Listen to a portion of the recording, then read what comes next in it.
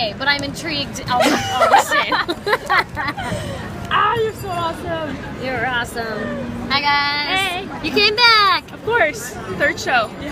Wow. We're leaving tomorrow, so got to get as much as Well, you got some good weather at least. Yes, definitely She says that she shivers. Are you okay? Hello, what's your name? Naomi. Hi, Naomi Janet.